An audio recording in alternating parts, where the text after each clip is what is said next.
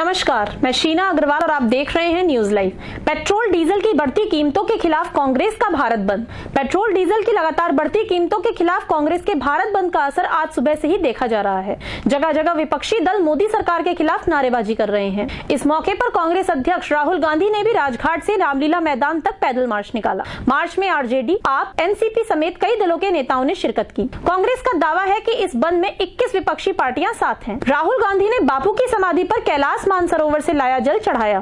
Congress party अध्यक्ष राहुल गांधी ने राजघाट पर जाकर राष्ट्रपिता महात्मा गांधी को अपना श्रद्धा सुमन अर्पित किया। कैलाश मानसरोवर यात्रा से लौटे राहुल 20 दलों के विपक्षी नेताओं के साथ राजघाट पहुँचे और वहाँ बापू को श्रद्धांजलि दी। राहुल अपने साथ कैलाश मानसरोवर झील से लाए जल को बापू की समाधि पर चढ़ाया। भारत बंद के बीच आज भी पेट्रोल डीजल के दाम बढ़े, मुंबई में अठासी पार। तेल की लगातार बढ़ती कीमत की वजह से पेट्रोल डीजल के दाम अब तक के रिकॉर्ड स्तर तक पहुँच गए हैं। सोमवार को भी पेट्रोल और डीजल की कीमतों में कमी नहीं आई है, बल्कि इसकी कीमतों में इजाफा ही हुआ है।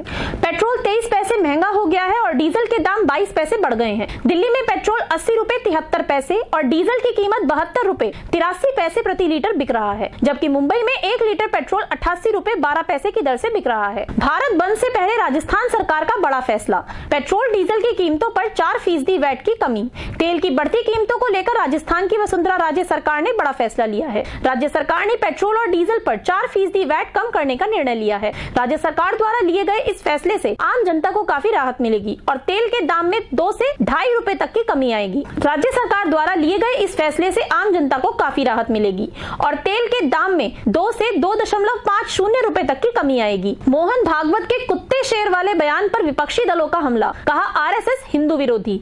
आरएसएस प्रमुख मोहन भागवत ने हज़ारों सालों से हिंदुओं के प्रताड़ित रहने पर अफसोस ज़ाहिर करते हुए कहा कि हिंदुओं से एक होने की अपील है और कहा कि यदि कोई शेर अकेला होता है तो जंगली कुत्ते भी उस पर हमला कर अपना शिकार बना सकते हैं। भागवत के इस बयान पर विपक्ष ने कड़ी प्रतिक्रिया दर्ज कराई है। ए के प्रमुख असदुद्दीन ओवैसी ने कहा कि आरएसएस दूसरों की प्रतिष्ठा कम कर रहा है। उन्होंने कहा, आरएसएस अन्य लोगों को कुत्ता और खुद को शेर बताते हुए उनकी प्रतिष्ठा कम कर रहा है। सेना में समलैंगिकता पर है कड़े कानून। दोषी पाए जाने पर कर दिया जाता है कोर्ट मार्शल। सुप्रीम कोर्ट ने देश में समलैंगिक संबंधों को अपराध की श्रेणी से भले ही हटा दिया हो, लेकिन सेना में यह कानून अभी भी जारी है। हालाँकि कोर्ट के फैसले के बाद तीनों सेनाओं थल सेना वायु सेना और नौ सेना से अपने अपने कानूनों की समीक्षा शुरू हो गई है। सेना के कानून के मुताबिक सेवारत सैनिकों और अधिकारियों का समलैंगिक संबंध बनाना कोर्ट मार्शल के दायरे में आता है। एसबीआई ने उठाया बड़ा कदम। अब दूसरे के बैंक खाते में नहीं जमा कर पाएँगे कैश। लोगों के बैंक खाते को सुरक्षित रखने के लिए भारतीय स्टेट बैंक ने बड़ा फैसला लिया है। नोटबंदी के दौरान बड़े पैमाने पर जालसाजी से आए। मामलों को देखते हुए एसबीआई ने फैसला लिया है कि किसी के खाते में कोई दूसरा शख्स पैसे नहीं जमा कर पाएगा। यहाँ तक कि कोई पिता भी अपनी बेटे के एसबीआई खाते में पैसे नहीं जमा करा पाएगा। बैंक का कहना है कि इस व्यवस्था के लागू होने के बाद से आतंकी फंडिंग पर भी लगाम लगने की उम्मीद है। सेवा गुणवत्ता में कमी की वजह से ट्राई ने जियो, एयरटेल, आइडिया और वोडाफोन पर लगाया जुर्माना। टेलीकॉम रेगुलेटर ने रिलायंस जियो भारतीय एयरटेल, वोडाफोन और आइडिया सेल्यूलर पर मार्च तिमाही में सेवा गुणवत्ता मानकों को पूरा नहीं करने की वजह से जुर्माना लगाया है।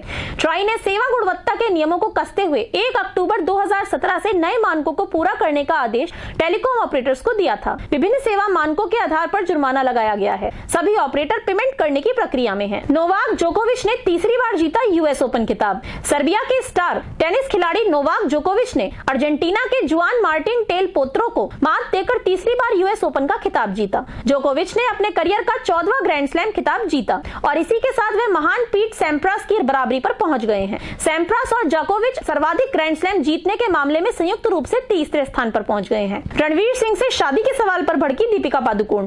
दीपिका पादुकोण फिक्की लेडीज़ ऑर्गेनाइजेशन के एक इवेंट में डिप्रेशन जैसे गंभीर मुद्दे पर बात करने पहुँची थी। तो वहाँ मौजूद लोगों को डिप्रेशन से बाहर निकलने को लेकर अपने अनुभव शेयर कर रही थी। तभी उनसे किसी ने रणवीर और उनकी शादी के बारे में सवाल किया। तो सवाल सुनते ही दीपिका गुस्से में आ गई। उन्होंने कहा, मैं इस सवाल का जवाब बिल्कुल भी नहीं दूँगी। ये सवाल बेहद ही इंसेंसिटिव है और ऐसे इवेंट में जहाँ मैं गंभीर मुद्दे पर बात कर रही हूँ, वहाँ ऐसे इंसेंसिटिव सवाल का कोई जवाब नहीं दूँगी। कल फिर हाजिर होंगे नई खबरों के साथ। तब तक देखते रहें और सब्सक्राइब करें न्यूज़ लाइव।